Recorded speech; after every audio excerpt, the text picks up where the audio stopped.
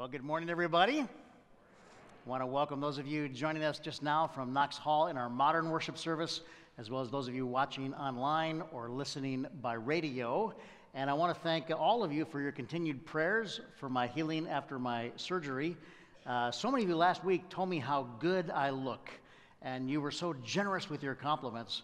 And I've discovered the secret to looking so good is to have people expect you to look so bad. The contrast is the key. And a lot of you commented on my weight loss. Uh, that, that is one of the benefits of hospital time.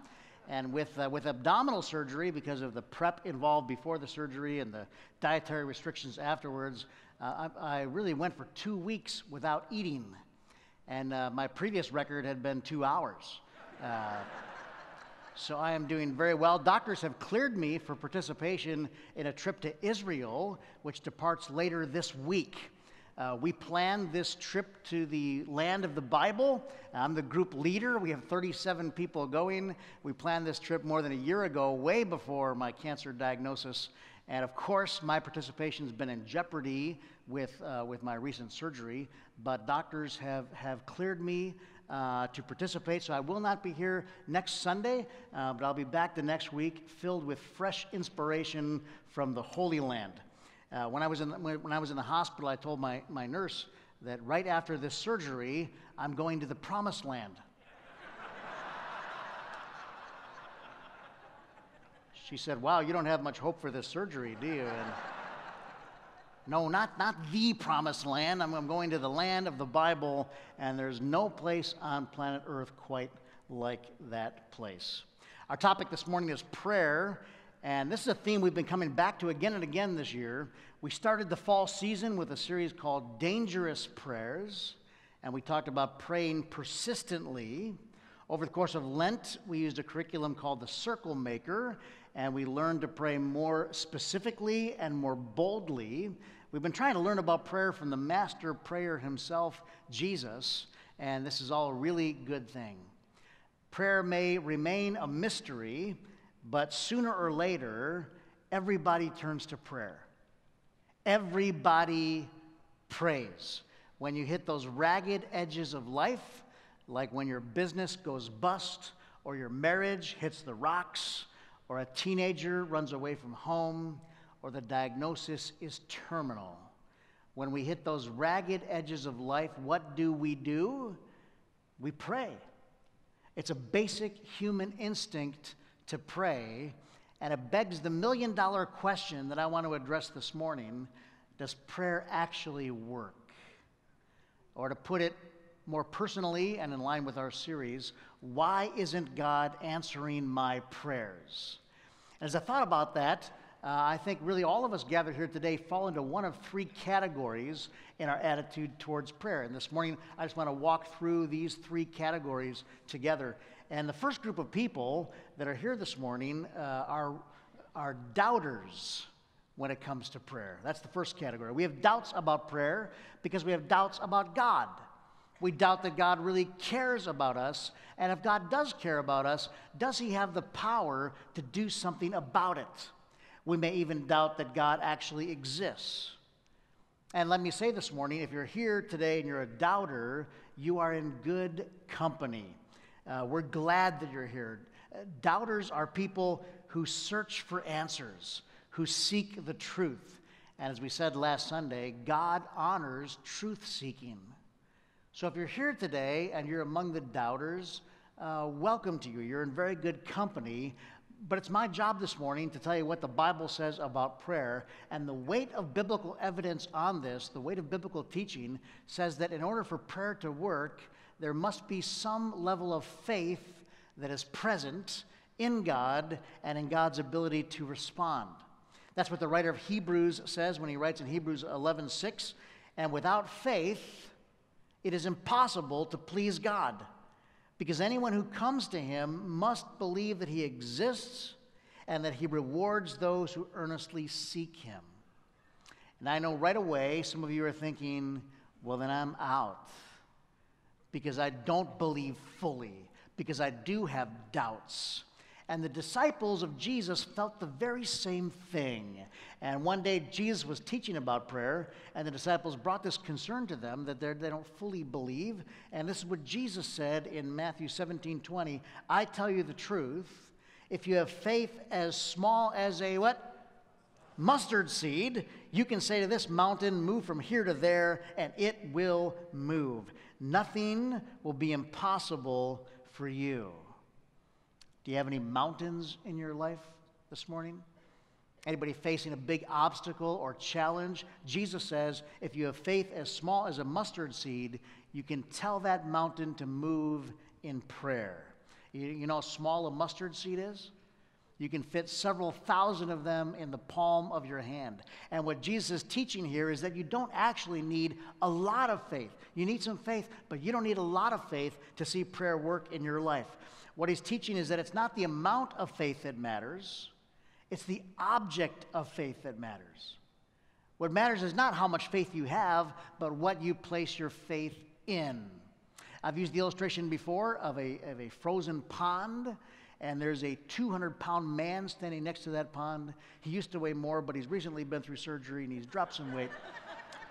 and on this particular day, the pond is just, the, the, the, ice on top of the pond is just paper thin, uh, very fragile. But this 200 pound man standing next to the pond, he has full confidence, full faith that the ice will hold him up. He really believes. And as an act of faith, he jumps onto that frozen pond. And what do you think happened? He went right through. Now, another day, same pond, same man, but on this day, the pond is completely frozen all the way to the bottom. It is thick. Uh, you could drive a Mack truck on this ice and it would not break. But in this day, the 200 pound man, his, his, his faith is wavering. He's not sure. He just knows that ice cannot hold him. He knows he's going to plunge right through it to his icy death. But he musters together enough faith and he jumps onto that pond. And what happens? He stands solid on the ice, maybe falls on his bottom. He had no faith at all. What, what matters is not the amount of faith that the man has. What matters is that the ice is solid. What matters is what he places his faith in. So, what matters is not whether you have a little bit of faith or a lot of faith. Whether you have a little faith or a lot of faith, you still can see prayer work because faith and doubt are not mutually exclusive, they are different sides of the same coin. One day, Jesus met a man. You heard the story read earlier uh, this morning. And the man says, Jesus, if you are able, will you heal my son? And you heard Jesus said, If I am able, all things are possible for the one who believes. And then the father replied in what I call the doubter's prayer. And it's a prayer that some of us may need to pray today in Mark 9:24. Immediately the boy's father exclaimed, and then read the rest with me. I do believe Help me overcome my unbelief. I, I do believe and I don't believe at the same time. Help me, God. I, I, I have doubts. And Jesus teaching that even if you believe and don't believe, if you have those doubts, all you need is enough faith to come to God to ask. That's how much faith is required. But does God really care about my needs? Does God really, uh, is He really interested? And what's going on in my life? Is he willing to respond to my prayers? In the Sermon on the Mount, Jesus taught his disciples and us a prayer, a simple prayer, that we now today know as the Lord's Prayer. And in this prayer, Jesus revolutionized the way people think about God and about praying. Jesus said, When you pray, when you start your prayer, you can address God this way Our Father in heaven.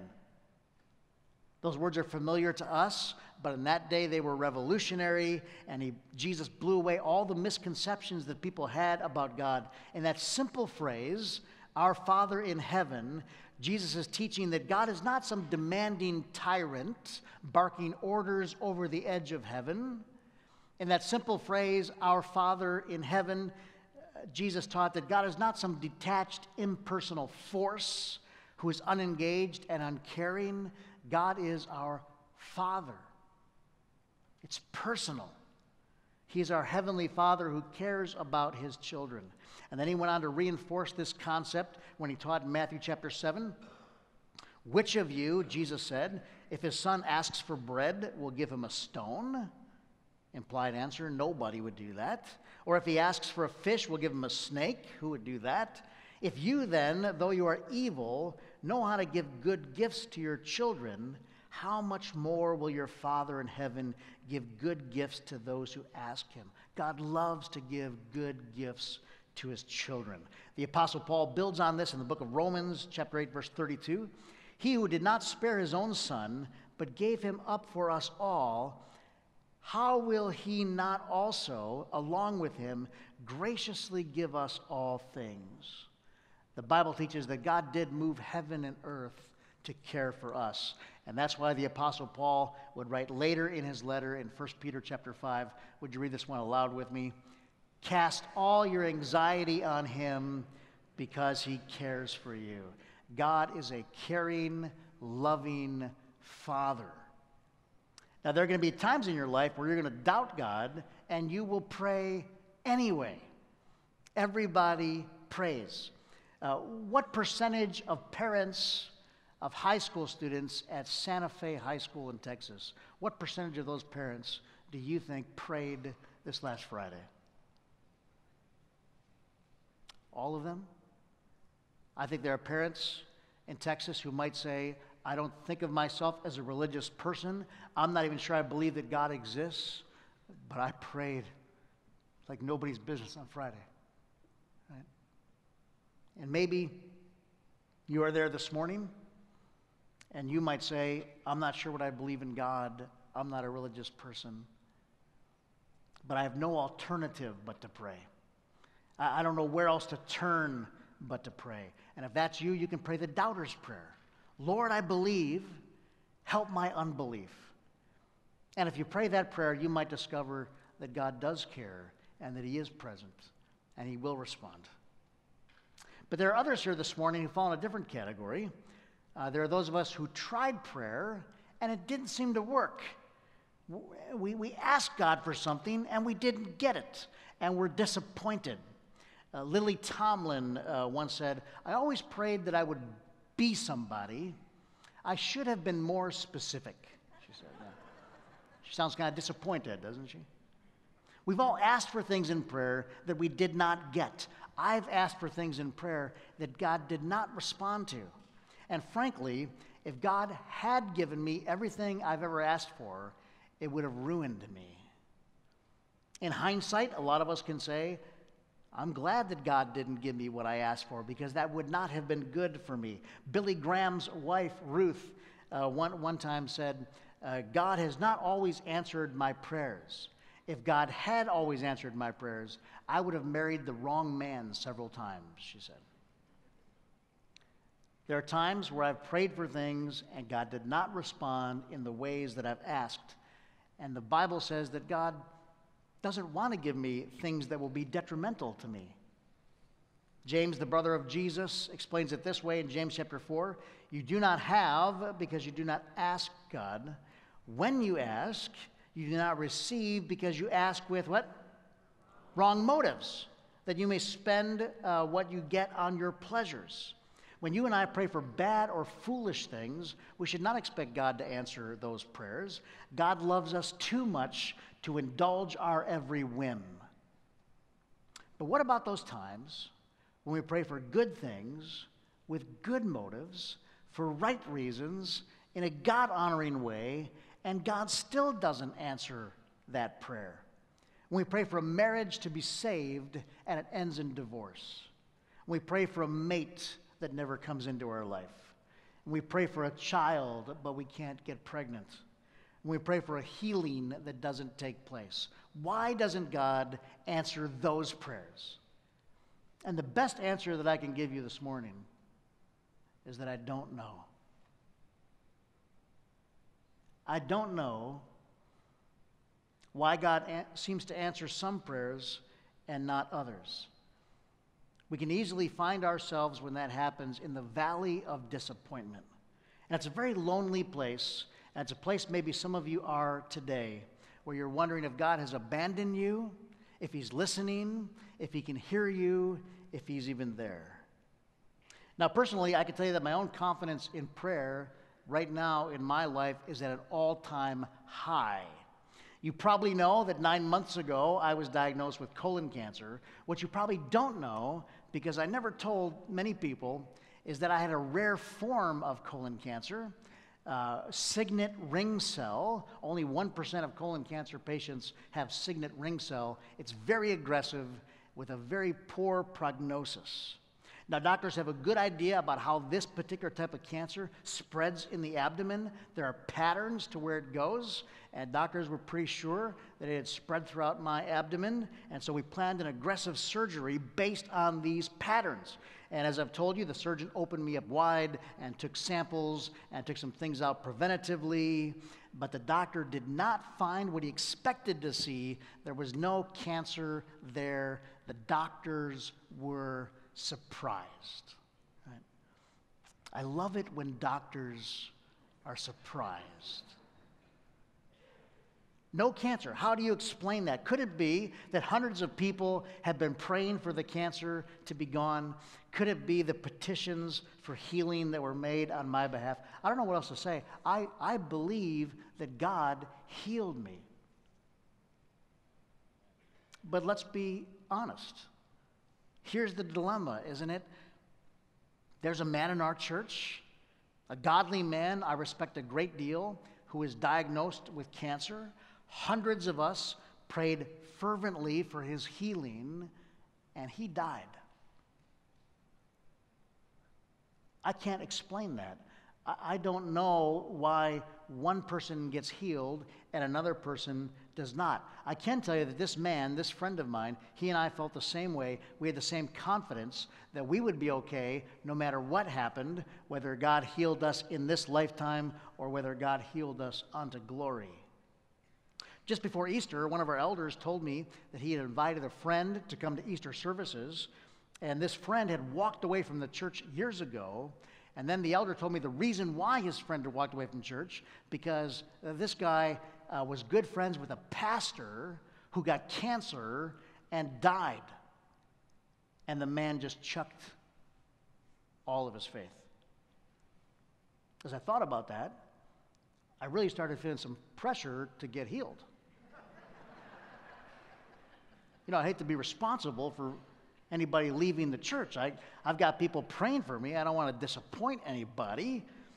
So let me correct uh, what could drift as I celebrate full healing. Let me correct what could drift to be some bad theology. Those of you that have been praying for my healing, thank you very much. But let's say that instead of the report that I was cancer free, the report that was given instead said that they had found cancer riddled throughout my body and that I had only a few months to live. Those of you that were praying, how would you interpret that? Does that make God any less God? Does it make God less good? For generations, people of faith have gathered in all situations and circumstances and proclaimed that God is good and that God knows what He's doing even when we don't understand. Still, when our prayers are not answered in the ways that we're hoping or asking, it can transport us to the valley of disappointment, and this valley is a deep one. And I want you to know this morning if you find yourself in the valley of disappointment, that Jesus knows what you're going through because he has spent time there too. The valley of disappointment that Jesus knew, it was called the Garden of Gethsemane. And he went there to pray, and you know the story that he prayed so intently that, that, that he sweat drops of blood. Why was he praying so intently? Well, he knew what he was going to face. He knew that on that very night he would be betrayed. He knew that he would be arrested, beaten, and tortured. He knew that he would be crucified on a cross and would suffer a slow, excruciating, painful death. And in his humanity, he wanted to avoid that. And so we read in Matthew 26 39, he fell with his face to the ground and prayed, My Father, if it is possible, may this cup be taken from me. My Father, there's that title again Abba, Daddy, God, all things are possible for you.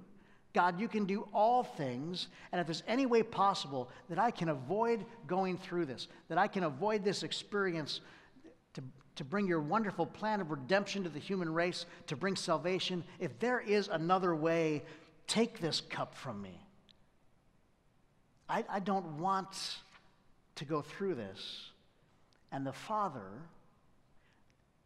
did not give Jesus what he asked for. Now, Jesus went on to pray one more line. I'm so glad that he did. Matthew 26, 39b. Let's read the second part of Jesus' prayer together. Yet not as I will, but as you will. This is the prayer of the disappointed. When you don't get what you ask for, you pray, God, this is what I want, this is my will. But God, I assume there is an, another will, there's an another greater plan that I don't fully understand. So, not my will, but your will. I'm so glad that Jesus prayed this prayer. When you find yourself in the valley of disappointment, I want you to go to the Garden of Gethsemane and pray the prayer of the disappointed. Not my will, but your greater will, which I don't fully understand. And when you pray that prayer, there will come a time, might be in this life, might be in the life to come, that your disappointment will be changed into contentment, into joy, into celebration. That day will come, but until then, not my will, but your will. There's at least one other reason that prayer doesn't work for many of us, and it's because we just don't do it. Right? We believe in God. We believe that God uh, is willing and caring and that God answers prayers and that God is our Heavenly Father. We just don't actually pray. We get too busy. We get too tired. We get too worried. We get too distracted. Many of us are distracted prayers. We just don't do it very much. And so we don't get the opportunity to see God work through prayer. Now, there are a lot of ways, a lot, a lot of helps to, to, to help us become more consistent prayers. Uh, you, you, can establish a regular meeting time with God each day. Some of you have done that. You can pray while you exercise or jog. Some of you do that. You can journal and write out your thoughts. Some of you do that. But I want you to know that what's really helped me blossom in my prayer journey is to realize that prayer is not just a discipline, it is an adventure with a living God that prayer is my lifeline to the best friend that I will ever know. The prayer is getting online with God anytime, anywhere, any place, under any circumstances, that He's always listening, waiting, and available. And that's why the Apostle Paul could write in 1 Thessalonians 5:17, pray continually, continually that prayer is an ongoing conversation with God that I can have in my car, in my grocery store, on the airplane, that He's always available, He's always listening, that He is my Heavenly Father who is eager to gauge in relationship with me. I can be driving down the freeway and someone cuts me off, and I can say, God bless you, my friend. and I can feel my blood pressure going down and my patience going up when you get a hold of the fact that prayer is an ongoing relationship, an ongoing dialogue with the creator of the universe, moment by moment, hour by hour, day by day, with the Almighty God, the most powerful person in the world, who also happens to be your best friend and cares for you more than anybody else on the planet because He is your Heavenly Father. When you get a hold of that, it will transform the way that you pray. It will transform you from being a doubting, disappointed, distracted prayer to being a dangerous prayer.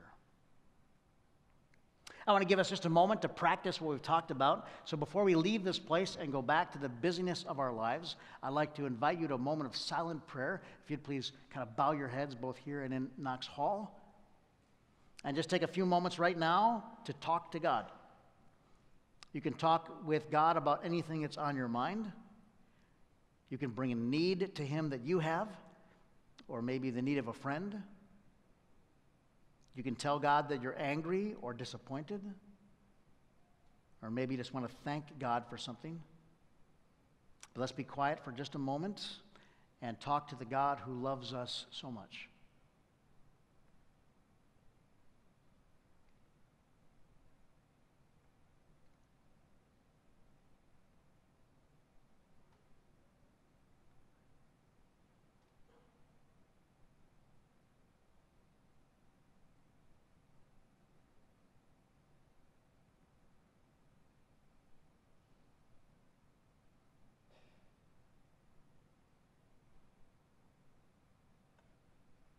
Father in heaven, thank you for listening. Thank you for always being available. Thank you for making prayer possible. Our relationship with you is very important to us. Thank you for being our caring, loving Heavenly Father. And we pray this in Jesus' name. Amen.